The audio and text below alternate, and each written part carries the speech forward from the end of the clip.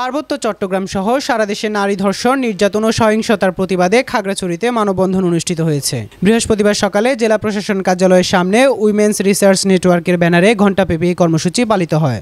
মানববন্ধনে women's resource নেটওয়ার্কের কেন্দ্রীয় সমন্বয়কারী শেফালিকা ত্রিপুরার সভাপতিত্বে বক্তব্য রাখেন সুজনের খাগড়াছড়ি জেলা কমিটির সাধারণ সম্পাদক advocate Nasir Uddin Ahmed, one stop crisis cell খাগড়াছড়ির প্রোগ্রাম অফিসার মোহাম্মদ রুবেল বিশ্বাস, সাংবাদিক মোহাম্মদ আবু দাউদ, চিং ম্যাফরু মার্মা উন্নয়ন সংস্থা জাবারঙের নির্বাহী পরিচালক মথুরা বিকাশ ত্রিপুরা আলো এর নির্বাহী পরিচালক অরুণ কান্তি চাকমা, দুর্বার নারী নেটওয়ার্কের প্রতিনিধি নমিতা চাকমা খাগড়াছড়ি মানবাধিকার কমিশনের সাধারণ সম্পাদক সুইচিং থুই সহ অন্যান্যরা।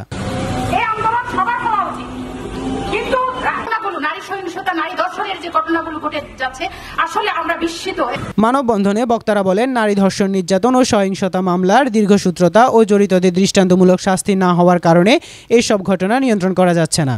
এমনকি অবুজ শিশুরা পর্যন্ত রেহাই পাচ্ছে না। রাজনৈতিক আশ্রয় প্রশ্রয় সহ নানা কারণে জড়িতরা পার পেয়ে যাচ্ছে। বক্তারা নারীদের নিরাপত্তা স্বাধীনতা নিশ্চিত করতে হলে দ্রুততম সময়ে আসামি গ্রেফতার মামলা নিষ্পত্তি এবং সর্বোচ্চ শাস্তি মৃত্যুদণ্ডের বিধান করার দাবি জানান। মানববন্ধনে বিভিন্ন সামাজিক সংগঠন একাত্মতা প্রকাশ করে অংশ নেন। খাগড়াছড়ি প্রতিনিধি মোহাম্মদ মফিজুল ইসলামের পাঠানো তথ্য ও চিত্রে ডেস্ক রিপোর্ট বাংলাধারা চট্টগ্রাম।